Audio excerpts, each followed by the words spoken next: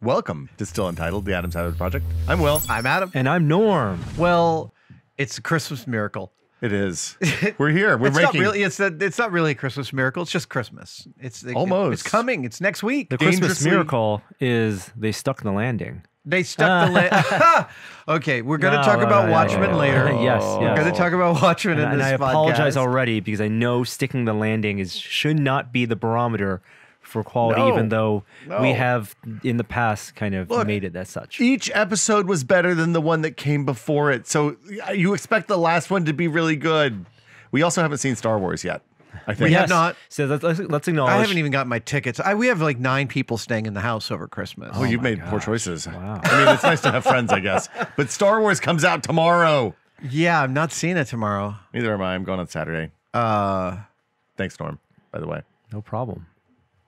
I, I bought tickets and Oh, then nice. I was able to relinquish the tickets so Will could buy those seats. Oh, nice. In a coordinated app effort. It was. It oh was, wow! It was, so you literally like you did as he did. So yes. we were at a party on Saturday night Oh, together, and. I was like, I don't have tickets for Star Wars. Like, uh, like Norm looked at Danica and was like, we can solve this problem. And everybody got out their phones. We synchronized the four purchases simultaneously. Oh, wow. simultaneously. It's one of those things where was- the tickets are tied to your name, so Oh, I I can just see. hand him Yeah. physical tickets. right, right, right. yeah, yeah. Like it would be simpler to do in the old days. in- before Yeah. before Yeah. the services. Yeah. Anyway, yeah. Anyway, hey, uh, you know, last week one of the things we didn't get a chance to talk about, um, complete omission on our part, was the the passing, of course, of Caroll Spinney. the amazing Muppeteer uh, performer who spent decades making the world a better place portraying Big Bird Big Bird and Oscar the Grouch, and both. Oscar the right. Grouch. Uh, and did he also do Snuffleupagus, or was that was was that uh, was that Jim? I thought Snuffleupagus was someone else, but I don't know. Okay, But but I mean, I mean, but yes, if if you haven't one of the first things we talked about when we talked about the muppets here in the early early days of still untitled was you explained how that caroll spinney big bird puppet works right. and i was just like that that can't possibly be it and, it's then you go and look at the cutaway Right, right. and it's, can it's incredible yeah, yeah his hands up his head's down he's looking at a tv that's in big bird's stomach he's moving one arm with with one the other hand yeah. and then somebody else is operating the other arm from presumably behind or Sometimes, or sometimes, it's just like uh, Bear in the Big Blue House. It's Yeah. on a pivot to the other hand, so it looks natural. it's in it's it's incredible how much humanity came out in a character With such a technically challenged puppeteering job, especially for decades. yeah yeah Uh, and uh, uh, uh, I got to meet Caroll Spinney at Silicon Valley Comic Con a couple of years ago, uh, and he was, as every account of him has attested, the very picture of gracious, lovely, uh, attentive, and sweet, uh, as you wanted Big Bird's um, creator to be. Th- there were a number of people who had profiled or interviewed the Sesame Street, you know, children's television, television workshop, or, or Caroll Spinney specifically, who kind of shared stories about meeting him. And and the one that I loved the most, I wish I should have looked up to see who it was before we started, so I apologize. But it basically told us the story of going to do this profile on on CTW. Yeah. Mm-hmm. okay, what was that? it wasn't Is someone yelling? somebody's yelling at somebody's Oh, yelling on the oh, street. cool. Sorry. Um, they basically told the story of him going uh, in to interview this person and then sending him over to Caroll Spinney first, and he had taken off the top of Big Bird and was just wearing the legs and was resting. And he he said he t- said in the Big Bird voice, "Oh hi, how how are you?" And the reporter just started crying, Right. Just burst into tears, right? Yeah, certain people have that effect. I mean, it's the same. I mean, this year was also the year that we, you know, lost Peter Mayhew. So we're talking about character performers who Who's are that? Peter Mayhew. Oh yes. Oh yeah, my god. So sad. Yeah. that were larger than life and and you know big parts of our lives and, their childhoods. Well, and these performances that outlive the the performers. Yeah, and I that implore you. extended way, way, way beyond. Yeah. You know, we had a chance uh, was a lot, two years ago to go to the um, the exhibit at the Museum of Moving Image In New York, In the New Jim Henson exhibit, yes. which is still it's a permanent exhibit at the museum at MoMI, and it's really worth taking a trip out there to go see it. It's incredible. and it has uh, you know one of the big birds, and I think it was bigger than all of us imagined, standing in front of it, even behind glass. All I know is how it compares to a Studebaker. So it's like Um, yeah, it will. It, it is amazing how long he was able to perform that character. It is truly astounding. Well, and and the process for training his understudy, his replacement, was a like a ten year process. 10, Was it 12 year really? They did. They, were- they were working together for an incredibly long time. Wow. All the Muppet performers are there. They're they're all treasures.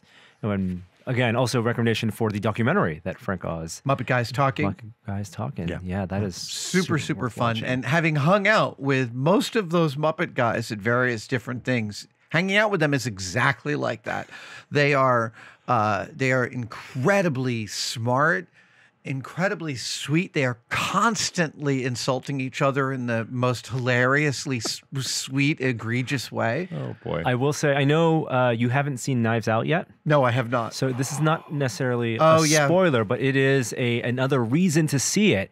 Is that Frank Oz has a part in it?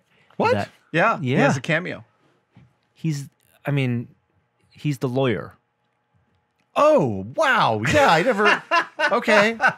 and he, he is a it's a wonderful uh non you know traditional Frank Oz performance or maybe so Yeah, he, yeah, he's yeah. clearly having a wonderful time yeah. in that role He's chewed chewed some scenes there. Every now and then, I mean, uh, you, do you remember he's uh, uh, he's the American consulate representative in American Werewolf in London. Wow He shows up in Oh, the hospital wow. to talk to David. this is exactly in line with that type of role Right, Yeah. right, right? right. Just in and out, showing up to be a like, minor showing out. functionary who's kind of funny. Well, yes exactly it It's yeah, it's a character actor who a character part that's kind of odd, like Mm-hmm. in a really interesting way. oh, and I remember watching American Werewolf in London, and I was such a, uh, an adept of the Muppets. I already knew. I was like, oh, that's Frank Oz. That's very exciting. Uh, you should see Knives Out. It's really good. I will, I will, I will. I am. We we don't get out to the movies a lot, and also I've been watching a crap ton of television. It turns out. so uh, this is the part where we're going to talk about Watchmen and We're that's going to talk. Well, specifically so let's. Uh, can we also talk about the? Uh, we can also talk a little bit about Mandalorian, which. yes I have not want. seen the last episode Okay, no, I was saw the so we should do a spoiler cast of Mandalorian once the series yes wraps. yes I think it we going to be ten episodes? Uh, something No, like that. nine or yeah, 10, Yeah, yeah. It, it is early this week because of the rise of Skywalker.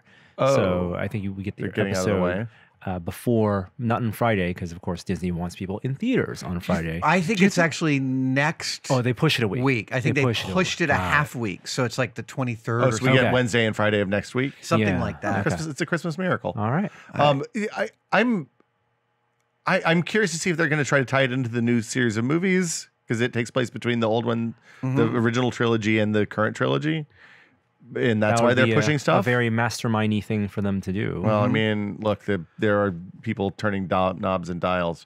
I, I've, I'm kind of, I'm kind of, I feel like the last couple episodes haven't been my favorite on the Mando. Oh, um, I still enjoy having such a highly lovely produced uh, uh, uh, fantasy series that's only 30 minutes, 30, 40 minutes long. It feels kind of amazing. Yeah. Uh, and I, I'm, while some of the episodes captured me more than others, I still keep finding myself thinking, wait until the series airs and watch it again because I think it'll it's going to feel different once I see them all I, I, I mean, all of a piece because I, I'm really enjoying the spit out of the series. I'm finding it a great world to visit. My enjoyment is living and dying based on whether I enjoy the characters that are the other people in the episodes. Mm-hmm, and some of them I like the Gina Carano episode was fantastic with the with the the seven ten. But this uh, most yeah. recent one with Bill Burr and Clancy Brown, I, I, I enjoyed it. I enjoyed the. I won't spoil this for you, Yeah. Norm, but I enjoyed the twist at the end. Oh, we have to talk about this in a spoiler cast. 'cause I have a very different opinion of that Oh, twist really? at the end. I thought Yeah. it was. I, I, yeah, okay, Yeah. Yeah. interesting. To, to Um, be to be but- continued. Yeah. So t- that's to be continued. Are we going to try to do a Star Wars spoiler cast next week, or are we? If I mean, we- it's like if- two days before Christmas, so Gina might be really upset with me Yeah, if I, I, skip I, out. I, I don't- Let's figure out if when everyone will have a chance to see it. Okay. And then we will at as soon some as we all get on board. it. Okay. Yeah. That sounds good. Maybe just yeah. Maybe to think for me to maybe we record a pod. Well, we'll talk about that. Okay. We'll we'll make the Let, let's let's uh, We'll pen make in our the sausage calendars off mic. and, and schedules Yeah. and tap it into our phones when the camera's not rolling. indeed indeed. Um, So Watchmen, non spoilery part of Watchmen first, and then non we'll do spoilery spoilery part of Watchmen. Watchmen completed its how many episodes? Nine. Nine episode run. Uh, show run by Damon Lindelof, a host of different directors. And writers. and writers, uh, starring Regina King, uh, Don Johnson, uh, uh, uh, uh, Jean Smart. Tim Blake Nelson. Tim Blake Nelson, Jeremy Irons, uh, the that wonderful actress that plays Lady Trieu. Oh, uh, Hong Chau. so wonderful and uh wow this episode you know i i, enjoyed a- the spit out of this series. It- i think it's one of my my favorite series both from a uh i thought i think it's one of my favorite series i've seen from both a technical storytelling perspective. Like i loved all the characters. I love how the world was built. I loved how much they didn't hold your hand uh, because knowing early what knowing having read the Watchmen, so much is filled in for you, and if you haven't read Watchmen, they don't fill a ton in, uh, or there's there's some there's some gaps. I felt like, or I wondered. Anyway, sorry, I'm getting ahead of myself. I love the spit really out of it, good. and also I think as as social commentary, a really really powerful It's, show. it's one of the. It's not just one of the best series of TV I've watched in ever that I remember. Really, it is impactful in a way that a lot of this kind of TV isn't. Like a su- you hear a superhero TV show and you're like, oh well, I mean, there's there like there's a bunch of superhero TV shows out there, but they're all pretty light. Or or you know, in the Netflix Marvel stuff, they were hyper violent, or they were you know they, they're the hook wasn't we're going to really make you think about a lot of things that aren't people in masks punching each other. Yeah. And and that's I spent more time like th- this this Damon Lindelof has been living in my head for the last 9 weeks. Um It's a show- free. So It's a show that things to say, which was what Watchmen, the original, which was one of the most Watchmen things about it, and it didn't have the exact thing to say that the original graphic novel had to say. Well, the original Um, graphic novel was talking about the history of narrative and of capitalism and the, the Cold War the and Cold- comic yeah, books in general. Exactly, and and this touched on many of those things, but did it for 2019. Yeah. Well fear fear of the I mean the, the one common thread is that both of these are about fear, about people fearing things. It was about fearing fearing the Hmm. Well, okay, so- so- the communists. I, okay, so Damon Lindelof talks about how, and again, this comes out of uh, the Watchmen podcast with him in conversation with Craig Mazin. But when he and Jeff Jensen, previously of Entertainment Weekly, kind of uh, decided to go forward with the idea of writing a Watchmen show, one of the first things they did was throw out words that they associated with the original Watchmen series. And I'm sure fear was one of them. But to say it's about one idea, I don't think uh, it's wrong. But you're yeah, right. absolutely. You're Everyone can take correct. many things about it. You know, one of the big key words they throw out is legacy. Mm-hmm. Legacy uh, had to be you know original, um, and and and like th- all the kind of things that you would think in the word cloud that go with Watchmen. I think they pulled the right things and then made it their own, including appropriation, uh, because the show itself is an appropriation uh, because it is not sanctioned material. by the original creator. Ah, Alan Moore I did has no that- interest in this. He, He, so he's not done any interviews about it, not No, talked about it. no, he, no, he he has- no, doesn't he- give a crap about it. give give. Oh, I think he, is- gives a crap about it. Right. Okay. Sure. The, the, the reason he doesn't talk about it is to maintain his mental health. Like, Sure. That makes makes- him angry to the point that he doesn't want to have anything to do with. totally. yeah. yeah. So the creators of the original Watchmen graphic novel, Alan Moore, written by Alan Moore, drawn by Dave Gibbons. Dave Gibbons has been in a better relationship with the rights holders, Mm-hmm. which is Warner Media, which owns HBO and DC Comics, of course. Alan Moore washed his hands of any adaptation of his work. You know, uh, even going back before the Zack Snyder Watchmen, of V for Vendetta, League of he, Extraordinary League of Extraordinary Gentlemen. Gentlemen. That might have been the thing that That was the one that pushed him over the edge, as over recall. That would that would have unhinged me. That Yeah. was terrible. So- League of great. Extraordinary LX, Gentlemen. LXG. Uh, so he, you know, the only thing people know about Alan Moore today is he will probably he probably voted Labor last week. he huge beard. Yeah. I know he he actually came out. He did a he did a please vote with Labor video Yeah. that didn't really have you know, an impact. uh, apparently, I so. will tell you that Neil Neil Gaiman, by every account, and being a friend of his, I can tell you it's true. By every account, one of the nicest human beings alive, uh, and one of the most gracious fan uh, interactors that there ever was, said that he learned everything about being graceful with fans from Alan Moore. That. Uh, when you say, "Wow, I can't believe you signed autographs for X many X many hours," uh, while as long as the line lasted, and he will tell you a story about Alan Moore having done it for longer. Yeah. Uh, so, like, less, I had suffered the illusion that Alan Moore was simply cantankerous but the fact is, is no, no, no. With his fans and the, those things, he is a picture of, of grace and loveliness, and it's it's important to recognize that there are all these facets. But my, my understanding is that his his he's so connected to the work that when he feels like the other stuff doesn't, other people that are working on it don't live up to it, he, he just can't Well, mentally. there's no handle it. there's no point because he wrote what he wrote was for that medium Exactly. for that era and it stands on its own and I think Damon Lindelof has acknowledged that that while he is he is writing he wrote this show and, and uh, agreed to do the show purely as a fan Yeah. and his big takeaway is if people watch the show arms folded and like in you know and it, when the show aired when pr- and premiered and you know not trusting Damon Lindelof Damon Lindelof's ability to wrap up a series and write a satisfying show if they still didn't feel like it hit the mark but felt like okay I understand that Damon Lindelof loves Watchmen then that's all he really wanted to get out of this He So- talked about that in the and- podcast, right? Yeah. And we have had decades now of different executions of taking the storytelling from comic books and putting it into other media. And we've seen everything from uh, uh, uh, Frank Miller's disastrous Spirit movie. Uh, and uh, the the the the Zack Snyder films, which take comic books almost as a verbatim form and attempt to just make it moving pictures with live action people in exercises in media adaptation. Same Right. with Sin City, Frank Miller to Yeah. Robert Rodriguez, you know, li- literally taking the panels. They're to evoke the emotion for people, you know, taking the power of the image. Right. Because the the graphic novel, that media is part of the filmmaking process and storyboarding. they part- they is- share it they is. share a, a, a language. Right. But it's not the same. No, it's not the same at all, especially with artists as amazing as Frank Miller and Alan Moore, whose page layouts are legendary in how much they push the form of comic books forward.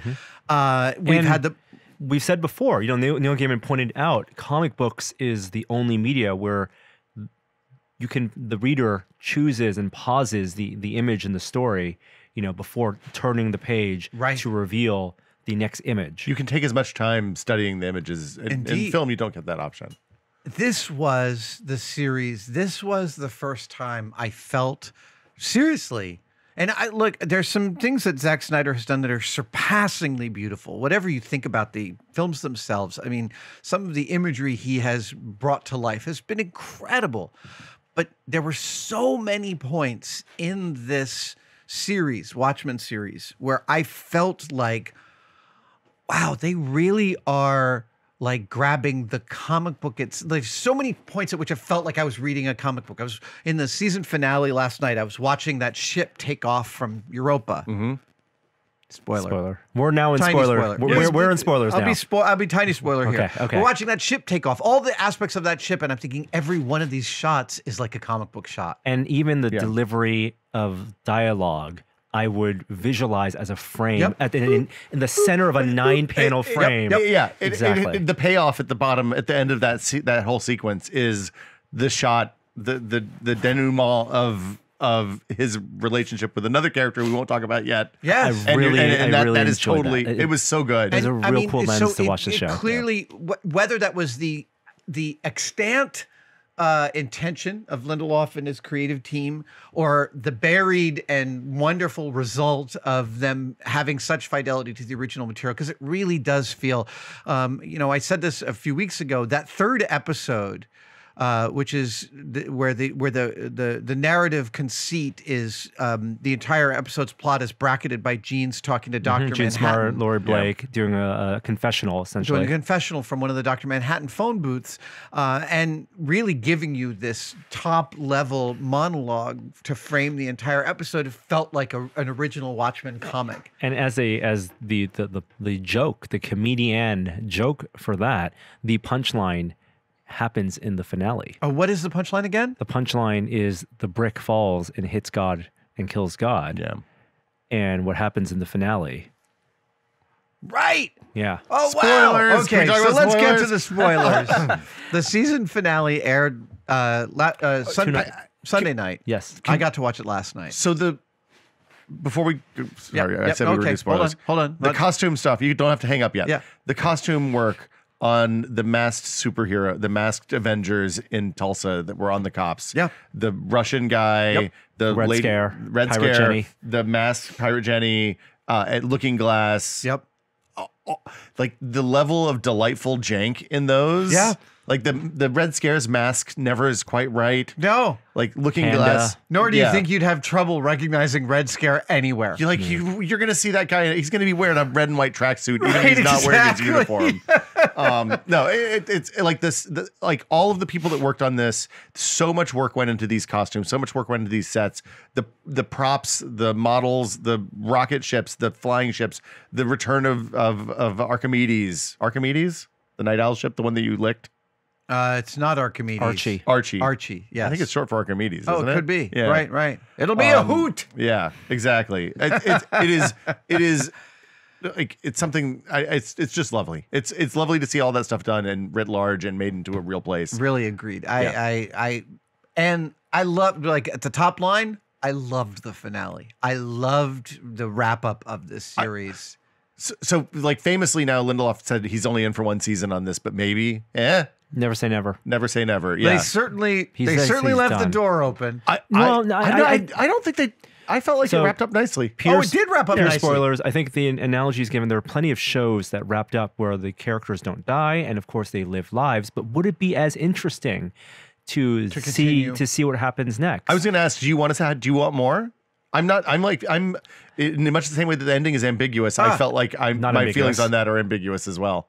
It's fascinating that you ask. I didn't consider like if I had control. If you were, the, if you had your finger on the button, Um, my answer would be if the original production team wanted to make another series, I would want them to make another series. I want less the what happens after the final shot of the finale here and the you know, next week and months of those people's characters' lives than I would want another nine episode story with a proper beginning, middle, and end, as they did with this show, set in that world. Maybe not even in that decade, in that time, but to do what they did with Tulsa 2019 and history And 1919 and and- and, and, yeah. and, and and do that in the alternate world of Watchmen. I don't necessarily need to know what happens to Yeah. Regina King's character. No, like I next. said, I, I'm agnostic on that front. But if Damon and the whole team and Regina King wanted to make another series, holy hell, I would want them to make that series. And I, think people should pull up trucks full of money and let them do what they want to do. I think that's the right answer, probably. okay, spoiler time. I'm, I'm not going to no more false starts. Go. We're now going to talk full spoilers for the entire series, including the series finale. Um, we're going to be indiscriminate about this, so if you haven't watched the show, you really ought to watch it uh, and then listen to this. And if you haven't watched the season finale, you should stop right now and watch it. we should we should have a blue light here. That's what we have. Oh, so you can fast forward I can just make noises the whole time so people know we're in spoiler time. Here Okay. we go. Um, Go ahead, Adam. you know, I I have loved Lady Trieu as a brand new character whose um, whose uh, position within the cosmology of heroes and villains is unknown until now, uh, and I thought the actress was so amazing in that role, uh, so weirdly believable, like just perfection in term. Wait, actually, even more believable as a genius gazillionaire than Jeremy Irons. Yes, yes, one hundred percent. You was her the confidence that she had. Um, the the wryness of her delivery and the lines they gave her, and especially in the finale, because you do have a flashback to the first time she uh, confronts Jeremy Irons and reveals his legacy, her lineage, uh, the, the the turn where she goes from playing naive to be lured in and a fan of his to saying, "Well, that's just a rerun," uh, is is wonderful acting. Yes, I agree. I, I, I love, I still love Jeremy Irons' portrayal as descent into Superman Howard Hughes. Oh, completely. No, no, no. It's so it's good. amazing. And the the the the slow reveal of his bizarro encapsul- encapsulation in the bubble on Europa and the sending of all of his minions, his Adam and Eves, mm-hmm. into the the the to thousands or tens of thousands of them? to spell out that message. Yeah. just an incredible and, and such a comic book plot, right? The oh, kind Oh, of yeah. comic book plot is like, well, I could draw anything I want. but but like the, the thing, the most revealing part of that to me is that Doctor Manhattan thought he was doing him a favor by sending him there. No, he was punishing him. Oh well, it No, was he both. wasn't. It was both. Yeah, he asked for it. Yeah. He I said, get- "I made a paradise. I created life. Right, Do you want to go? right. I, I can't be there. Do you want to go?" And he sent him there because he was. I got the feeling that he didn't make it clear what kind of prison it was, and he. I got the feeling that he got Veidt's agreement, uh, acquiescence to go, but that that was part of the plan to. I So you think Doctor Manhattan's away. punishing him and knew that he was punishing him? I'm not even sure of punishment. I think he was literally just removing him from a place he could Well, do more harm. I mean, the question is: Does plot matter in a world where Doctor Manhattan can see all time up until five minutes before his death? well, And it doesn't because he knows exactly what's going to happen the whole way through. It does because that's the one of the most interesting things about his character is that even though he has seen everything that happens minus the window where he voluntarily is uh, amnesiac and also when he's trapped in a lithium cage, uh, he still needs to experience it. It's like determinism and He need- in, in its you know ultimate form. And so there, I saw a headline of an article I didn't go read because internet, but it said, "Does Doctor Manhattan have free will?" Which is actually a totally interesting. I don't think- yeah, philosophical the- no. question. And from his perspective, I'm not no. sure I agree, and I would point out that I think actually the one bit of free will Doctor Manhattan does. I think this entire series is predicated on Doctor Manhattan's first meeting with Angela Abar, and his understanding that in meeting her six months after they fall in love, she's going to say, What are you risking? And then he is literally going to risk everything. And that I think that the central message of the film is this beautiful description of love as leaving a part of yourself in the people that you this actually choking me up as I say it. Um, him leaving the egg for her is both a leaving of his powers with the person most equipped to see the world for what it is and to actually do something good with those powers when and an he did acknowledgement not because he is unimaginative. and an acknowledgement Yeah. of his frailty that for all of his ability to see everything he didn't want to be alone when he died Yep. and she was there with him it was really incredibly moving Do you think he's dead? Yes. Oh, I do, Oh, totally. yes. I i think he's absolutely look. dead He he gets just he gets dissipated in the exact same way at the end of the comic. Adrian Veidt traps him in the in the tachyon beam thing in the basement of the Antarctica layer. He gets dissipated and then he puts himself back together five minutes Lady later. 'cause True he's is much smarter and more ca- capable than Adrian Veidt. Hmm? and the device that he's being held in gets destroyed later. and the device that he's being held in gets destroyed by the yeah by the by, By the the, by the, by the frozen squid yeah. So presumably by the his way, essence is blasted out back into the cosmos. wonderful moment that like that like the the the the the turn on hey there's squids that Adrian Veidt hey there's squids that fall from the sky we all know that that's fake we don't know that Adrian Veidt is still doing that for the entire run of the show Right. and then and then switching to hey we're gonna weaponize the squids very good And going to back to her performance, the kind of the the fit that she throws when Right. they teleport every uh, his her father away when they send Yeah.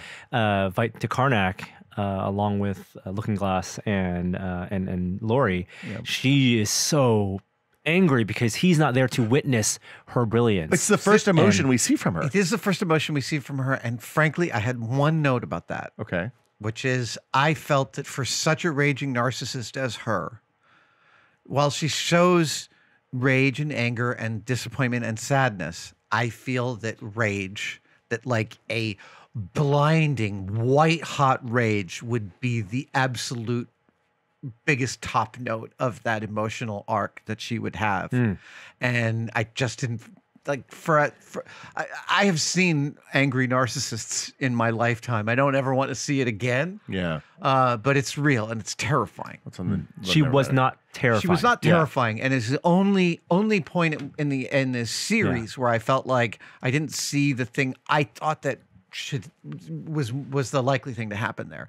But holy hell, I also loved this aspect of the writing of both her character and Adrian Veidt, of both of them being crazy intelligent, mm-hmm. and the realization that like she spun up the Seventh Cavalry to believe that they were doing something only to be serving her needs also to hide herself from Dr. She has Manhattan. to mask it. Yeah. Incredible. Yeah. Uh, and Dr. Manhattan, like being so, she tells him to the minute when the probe is going to fly over Europa, and he never forgets it, even though she says it conversationally. Mm-hmm. So this is a this is a goofy question. Remember when she goes to the farmhouse and buys the house? Yeah. From the what we don't was know when that is, but that's the return. That's his return five years ago, whenever it was.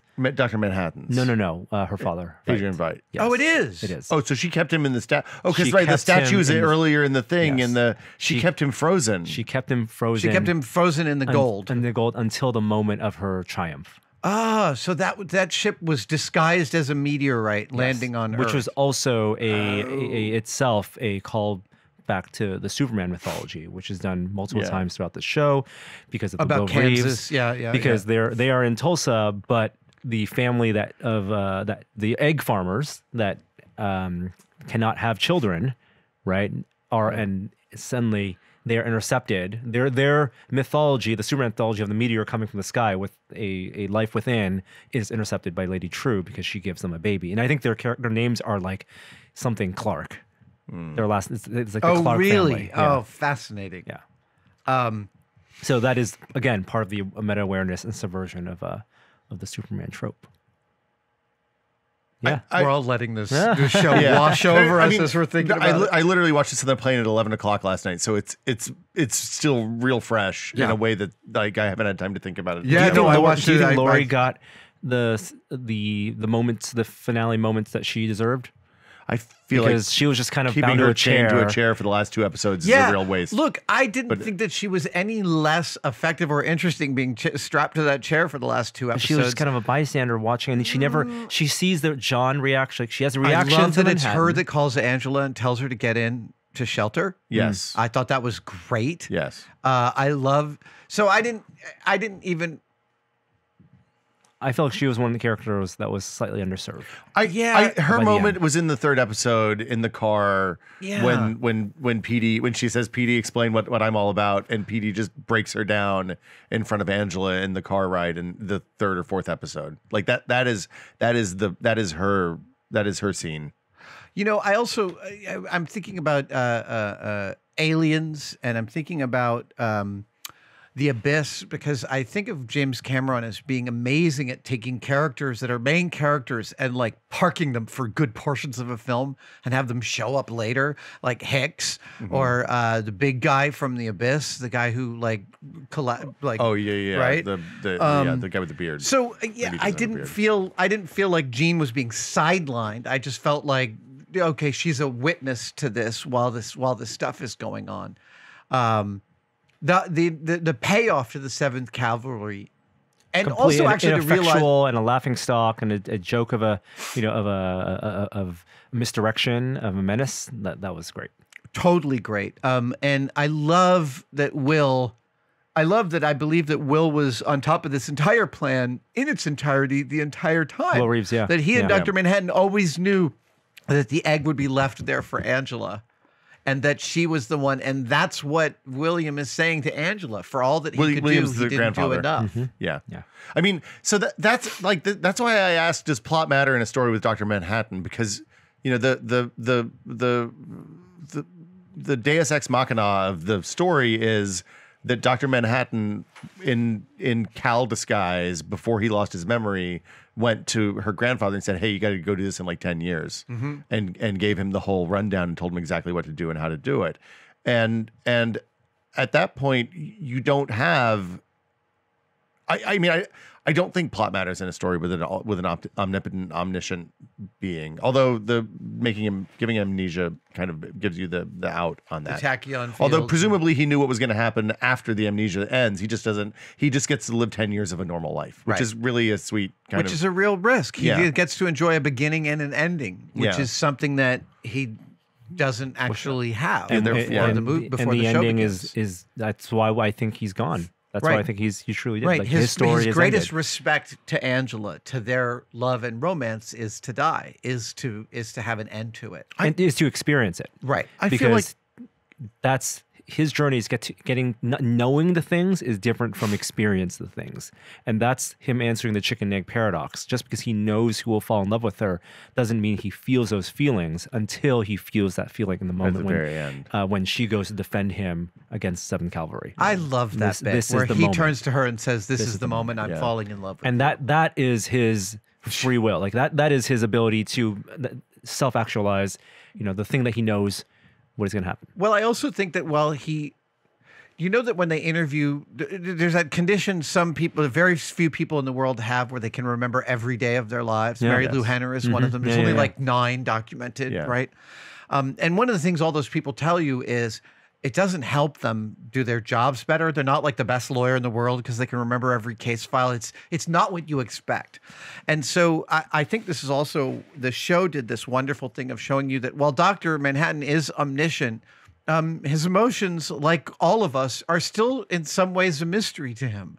His emotional drives.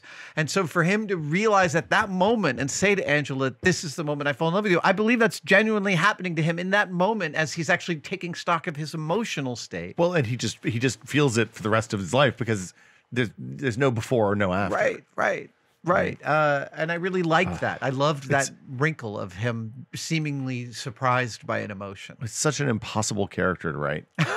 right? Like like that's why i'm happy he's dead they don't have to write it anymore well, but but also every Watchmen story that's been good to date has been about trying to kill Doctor Manhattan. Oh, well, it's the Loki problem, right? Yeah. Um, I I once said to uh, uh, uh, uh, Bill Prady, who used to write for the Muppets, uh, creator of Big Bang Theory and a bunch of other wonderful things, um, I said uh, to him that Rowlf was, in my opinion, the only Muppet with no neuroses. And he said, "No, that's totally true. It's why he's the hardest to write for, and it's why you make him a bartender." Yeah. He just listens. wow. Isn't that fascinating? I I I, I- yeah, I'm I, I'm just flummoxed. The whole thing. I'm gonna go back and rewatch the whole thing with Gina because she hasn't watched any of it yet.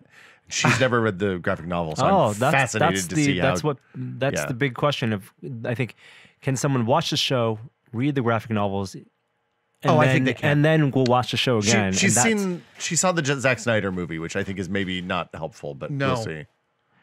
um, God damn, I loved it. I, just, I, I I would go back and watch the whole thing Yeah. again right now. I'd sit down and just do nine hours. I think. Yeah. Uh, I love the way Looking Glass keeps saying, it's not mirror guy, it's Looking Glass. but but like but like that's such a like her contempt for costumed Avengers is is so it's it's such a good character moment on both Oh. of their parts. and it, when she's delivering the, the joke monologue in the third episode, and she gets to the third act turn where God speaking to the last hero, and she says, God turns to the last hero and cracks his knuckles. I just, her performance is so phenomenal in, uh, in witnessing what's going on. Right? It's like um, I'm trying to think of the of the show or movie we had recently where a character is brought in just to witness and show the audience what this looks like from the outside. oh yeah What is that? My memory is poor. it will come to me in five Okay, minutes thank you. Um, It's but but you're, you're talking about like the the post carrier in Clue or something like that, where there's where there's somebody who walks in, rings the doorbell, and you open the front door, and they see a bunch of people standing around with knives and guns and blood all over them, and right and a it's a way maid. for the audience to remember Yeah. that this is happening in a world Yeah. right and so jean is the one watching all this with this super jaundiced eye who still really really cares as much as she did when she was a costume avenger Yeah. uh, just from a different vantage point Mm-hmm. Uh, and she's crazy again she is also stupid smart like They're all they're all top tenth of a percentile humans, right? right. Even the even the bat, yeah. even the kids even Yeah. angela's kids Oh God, the look that the older son gives at the end Right? is just oh. the look he gives as he realizes his mom is sister night And his dad was Doctor Manhattan. That- I, I don't know if he gets that yet, but yeah, so the, that there's mystery kid, there that they left lingering Yeah. Every now and then, I see a kid acting on screen, and I think, "Oh my god, you guys all knew that you wrote this, hoping that a kid could carry Well, well, this but- idea." But not only the kid carrying that, but also Angela watching him and seeing him start down the path that she's like, shit, maybe that path I've been on for the last 30 years was bad after all. Oh, by the way, I'm going to go eat an egg. Well, having superhero or being a superhero and having kids are incompatible. Well, she, I mean, she didn't start out to have kids. Right. Even that's all, that's what she wanted Right. all along. Um, Yeah, it's uh, Winston from Ghostbusters. Who? Oh, right. Winston from Ghostbusters is the guy who is the what's going on here? Oh my god, this world is crazy. Oh, right. Yes. Thank you, Winston. So, so Winston Zeddemore. I- I mean, the other thing, the other thing, like the, the question of whether the costume Avengers are good and bad, and watching Angela's path through that, as beginning with "I'm not thinking about this at all," and ending with the thing that created the costumed, the the masked cops, which is the which is the beginning of the it's the way this whole thing starts, is the thing that that ends Doctor Manhattan is a is a fascinating turn to me, right? Because the White Knight, he he's he's unmasked because of the White Knight because he instinctively reaches out, he protects um, his family when, when they're attacked Right. because they're because she's a cop, Right. and then and then like that's that's the thing that ends that ends Doctor Manhattan. That it turns out that to turns be his out to downfall. be yeah that- right. the right right like it's it's a it's a fascinating like the, the chain paradox. of The the, chain of events yeah the chain of events that ends up with him in Tulsa It's a per. It's a beautifully done plot, It is- right? So, is li- like, just from a mechanical standpoint, it's a it's an amazing That's what I was trying to execution get at. of a Thank plot. you. I, I was digging, and you just pulled me right. No, yeah, no, no. but- Yeah, it's, it's- you're exactly right. Like the way in which the loose ends all coalesce to bring the story to its fruition Yeah. is kind of amazing from a technical I, standpoint. I think that's the thing that appeals to me. The I mean, the characters are lovely. I can't say what appeals to me best. It's one of the things that I love is that for a, for a, f- a thing where there's a character to whom plot doesn't matter, the plot is perfect. right. Right. Well, let's Yes. give credit to the actor uh, Yahya who portrayed Doctor Oh, Manhattan and Cal. um, It's exceptional. Yeah. He's The- exceptional. and Cal. and Cal. Cal. a yeah. wonderful actor and a wonderful performance. And when he uh, also full marks to him for spending so much of the show naked. Yeah. Uh, and full marks to a show for showing us some real male nudity, which is rare on Look, television. you Ra- can't, rare you can't make movies. Watchmen without Blue Dong. That's why I think Doctor Manhattan has to be alive. You know, I'm just like I again just wow. I, I felt like I'm I'm watching a, a something an important turning point in narrative in narrative history. can, can I? uh, You know, we were we I, were that saying sounds like a really highfalutin thing, but I seriously feel like that. No, I mean, eh, and taste tasteful. You know, it's tasteful male nudity. That's unusual. Do you think the guy who makes those? Um, the, you remember? Did you see the article a few a couple years ago came out about a prosthetics guy in Hollywood who's made prosthetic dongs for actors? Um, that sounds s- like the worst fucking job in the world? so apparently it was so remember jason segel is fully Yeah. frontal nudity And- at the beginning and- of forgetting sarah yeah. marshall and he did this uh, interview where he talked about how to do nudity and how you don't want it to be too cold on set you don't want a lot of shrinkage but of course you don't want to be uh, tumescent as it were uh, There's a fine line. there's a fine line and the way he described it was like i was thinking to myself like wow i okay um I- you're you're i have more questions than you've answered Yeah. and then this article came out about this prosthetics guy who apparently makes flaccid uh, prosthetic dongs for actors for scenes in which they don't want to embarrass themselves on a cold movie set I can't imagine. Wow. I can't imagine the conversations on Dong Approval Day. Like Well, the he comes in, opens a case, and is like, "Okay, what, what do you think? What do you think, Mark it brings up- Wahlberg?" it brings up a lot of questions Yeah. doesn't it um, but yes what is the actor's name that played cal and dr Uh, Manhattan? Yahya, it's, it's a three part name, but Yahya is his first name. He kept on reminding me of Delroy Lindo. He could play his son in a movie any Hmm. day of the week. And oh my God, how great.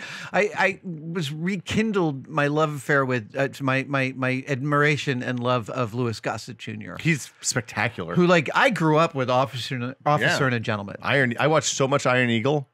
Iron Eagle? It's the it's the uh, it's the Air Force's version of of Top Gun. Oh, is it really? Yeah, it was all F-15s and F-16s. And he has the best line at the end of the episode where he says to Angela, you know, like you can't, you can't, you can't hide behind a mask, right? You can't hide pain behind a mask. Wounds need wounds air. need air to heal. It wounds the wound need, wounds need air to heal. wounds need air. It's a beautiful line. I I, you know, we, we, you had said earlier that you thought Jean Smart got kind of sidelined on the last episode, and I didn't think so. Oh, I just, Norm, Norm, said that. Norm did. I, I think that the line that she gets when the senator has the Dr. Manhattan pants on and is getting ready to go into what ends up being the mulching chamber. Sting's underwear from. It's From- kind from of, Dune? yeah. She's Yeah. like, the, those panties, you look really stupid in those panties. Mm-hmm. And it's just such a delightful burn on on this the shittiest character in the whole thing. I mean, And it's also he's wearing Dr. Manhattan's original shorts. yeah, that's what I'm saying. Yeah, It's yeah, like yeah. she's just she's just like you look like a fool.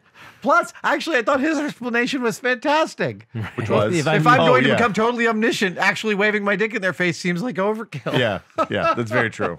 It's very true. Um, You should watch this if you, you, if you really, yeah. if you haven't watched it, Well, really watch up. it. Um, I don't think that even spoilers would take down the enjoyment of it. I'm I'm I've watched a couple of episodes multiple times already. Really? I'm interested in going back and watching the whole thing from start to finish, knowing knowing the entire sequence and seeing what what what's different this go around. It's uh yeah. And you, you know, there were times when I was watching uh Ron Moore's reboot of Battlestar Galactica and I was thinking, wow, um this is some of the most uh intense social commentary I've ever come across in narrative form. Uh Watchmen was like that times 3. Well, it's tw 15 years later Yeah. too. Yeah. Um, I, and I think that you know Ron Moore, uh, uh, they they owe a debt of gratitude to Ron Moore and other uh, other people, who've, especially within the science fiction realm, because it really seems to be this great Trojan horse that gets social commentary past your cognitive filters of like I am teaching you a lesson. I don't In a this is very very I'm not thoughtful gonna way yeah.